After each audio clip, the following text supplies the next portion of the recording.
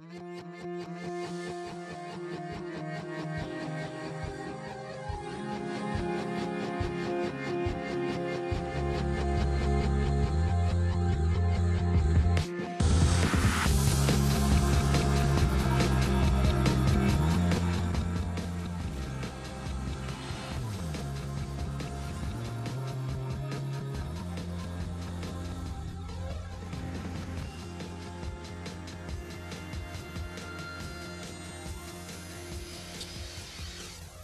Welcome to the official Autodesk Inventor podcast. My name is Garin Gardiner. I'm an Inventor product manager, and this is episode number 38. This episode, we're going to talk a little bit about some of those shortcuts that have been in Inventor since almost day one that some of you have probably discovered, um, many of which you probably didn't wasn't aware that they were in the product. So I'm going to start off by uh, first we'll do some general ones just in the, the general UI that uh, some of the navigation and getting around Inventor. We'll get into some sketch tips and then part modeling and assembly. So the first one I'm going to start off with is the the view cube in the corner. This is uh, this is one of the newer ones, but with the the new view cube, some of you may not have been aware.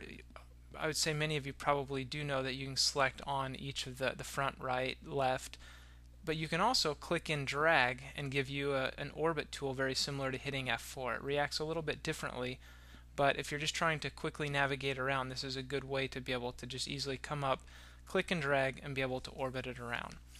The next one is if you're trying to do some type of presentation and you want to be able to show your boss uh, something about the, the product or, or kick off a meeting with a nice model spinning around, if you hold your shift key down while you're in the orbit command, so if I hold down the shift key, drag and let up, and that uh, drag with your left mouse button and let up, and then let up on the shift key, you'll notice that this will just do a continu uh, continuous orbit. So we'll do that one more time. I'm holding down the shift key, click, drag, let up on the mouse, and then let up on shift. And you'll notice that depending on how fast I drag and let up, it'll allow this to, to just spin around freely to be able to see my model.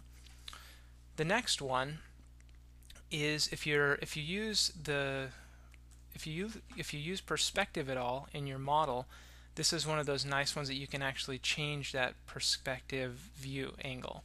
So if you go into perspective, so in the, the ribbon bar, go to the view, you'll notice that it'll be orthographic, go down to perspective, and then go into your zoom tool, and you'll notice, we'll just hit the drop down, go to zoom. So if I zoom, it, it acts normal, but if I hold the control and the shift key down at the same time, you'll notice that I'm altering that perspective angle. So once I do something like that, I let, I let up on the shift key, and when I rotate this around, you'll notice that it's giving me a much different view uh, viewing angle. So if I wanted to zoom in a little bit and then do the shift and, and rotate, you'd notice that I get more of a fisheye lens type of, of view on this. Alright, let's go back to orthographic. And we're going to go into sketch mode. So let's just take a look at one of these parts. I'm just going to go to a selection filter. We'll go to the part priority and it doesn't really matter which part I open up. We'll just grab one of these, open it up. And there are a couple of things in the sketch environment that you, you may or may not have been aware of. Let's just go to a sketch and we'll look straight on that particular view. Now if I have a, a couple of circles out here, we'll do different size circles. It may be that I want a tangent line that goes between those. And in AutoCAD would use an OSNAP that would be tangent to tangent.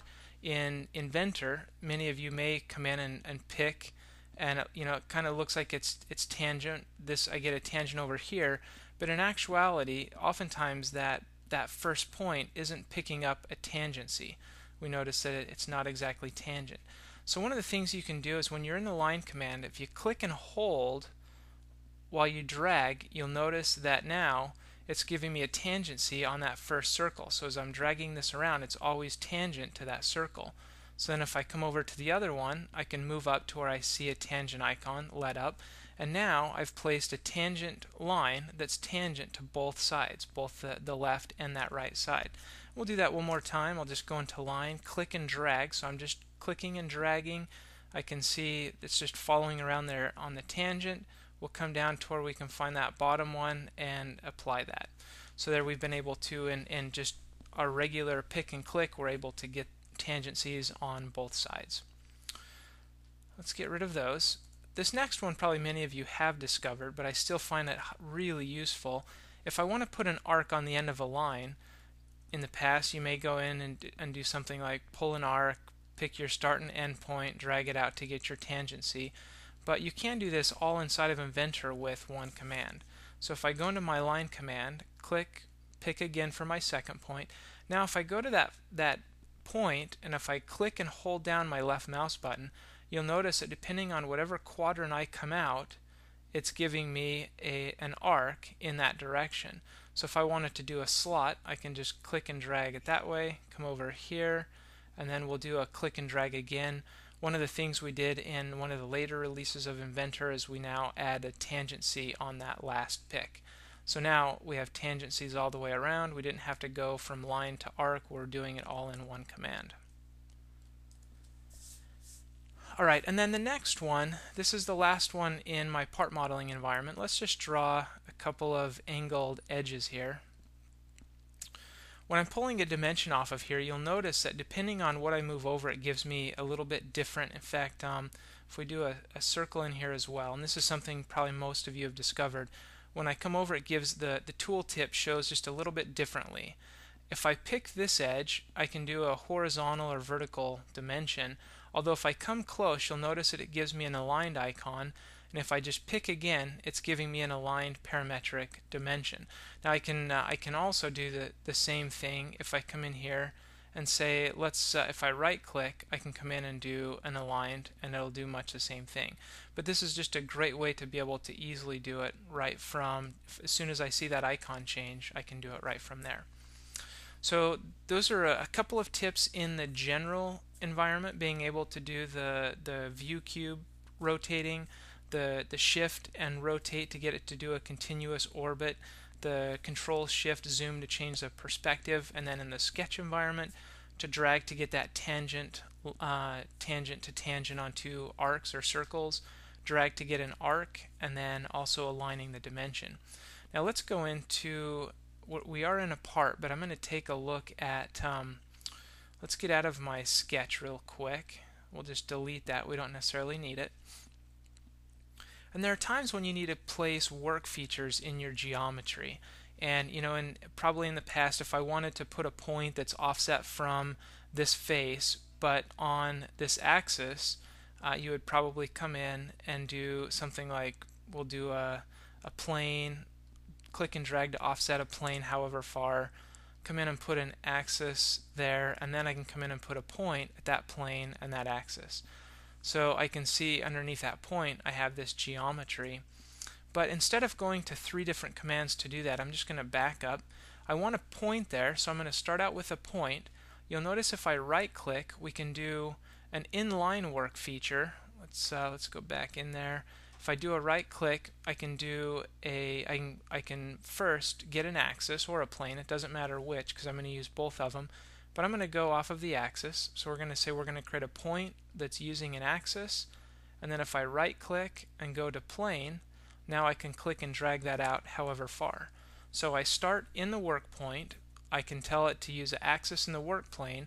So it looks very much the same. I have all the inline features in here and if I want to change anything, if I wanted to change that particular one, we can just edit it and say let's do something like only 5 millimeters, do an update, and we notice now that that point is much closer. It's 5 millimeters instead of 40 millimeters.